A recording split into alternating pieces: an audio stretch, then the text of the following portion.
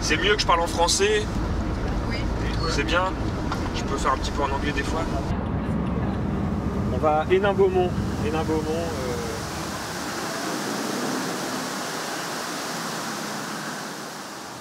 Non, c'est pas vrai. Non, Bah, non, c'est pas vrai. on, on commence, on s'arrête au milieu. En général, je fais On ça, on s'arrête au milieu, je fais un petit, euh, un petit speech. Et puis ceux qui veulent continuer, on va jusqu'en haut.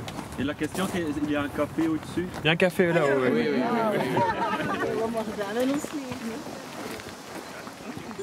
Donc en fait, ouais, Nord-Pas-de-Calais Adventure, euh, c'est un, tour, euh, une espèce de tour opérateur des endroits les, les plus moches, mais aussi les plus symboliques de la région.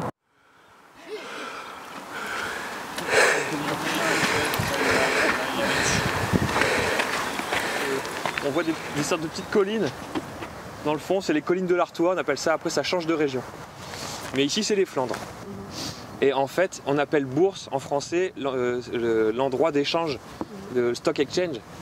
Et en fait, ça vient de Bruges au, 15e siècle. Après, l'idée, elle nous vient aussi d'un travail euh, qui est un peu plus, euh, qui est un peu plus long, quoi, sur, sur qu'est-ce qu'on fait du patrimoine industriel de la région et surtout qu'est-ce qu'on en dit. Avec le fait que le bassin minier était nommé au patrimoine mondial de l'UNESCO, etc. Donc il y y a tout un discours autour de ça.